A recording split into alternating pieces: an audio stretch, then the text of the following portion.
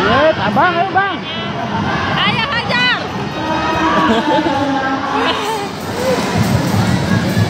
Kenapa tinggiannya merah? Kalah lincang. Ih.